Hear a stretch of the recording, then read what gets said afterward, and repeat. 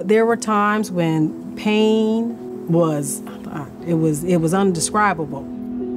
I realized sitting or standing, I was going to walk through this purpose. I was going to be strong and vibrant. I have multiple sclerosis, and I have gone over these past 10 years from the cane all the way to my 260 pound electric wheelchair. So my goal was really just to increase my functional walking if I was out and about at a store or at church or just out somewhere and and also to drive using my legs. Rachel Bennett of Swamp Fitness is amazing. She is so knowledgeable in her, what she knows, her craft of knowing the body and mind being a former collegiate athlete, track and field, or workouts that I used to do were actually working against me.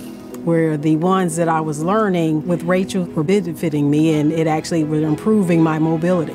I discovered that with Rachel's instruction, less is more.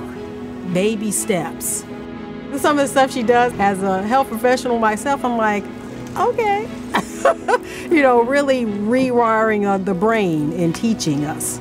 That's one thing I, I, I love about her the most, that she is so purposeful in her wanting us to improve and be well.